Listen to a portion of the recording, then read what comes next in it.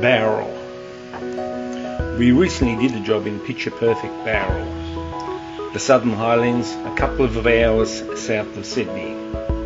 The project to arrest the movement of the retaining wall and the garage wall. The issue the house is only about 10 years old, built by a professional builder. The retaining wall at the front of the house has been subsiding and rolling, pulling the garage corner out. You can see the driveway slab has gone down about 20 mil as well. The front of the block has been filled and obviously not compacted well enough. Also, the neighbours had decided to plant trees on the boundary for privacy and there was concern that their roots may be a contributing factor with the dry weather. The, trees, through neglect, are out of hand.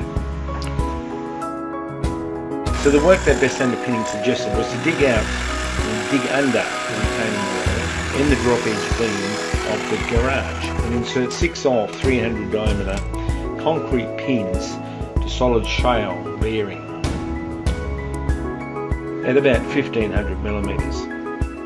The pins will support both the garage beam and the retaining wall. After this dig out, the full length of the retaining wall, we reinserted the ag pipe and laid in two layers of root barrier. This two-headed approach will fix the subsidence issue, with the solid bearing and the root barriers we'll then fend off any issues from the tree roots. Happy customer.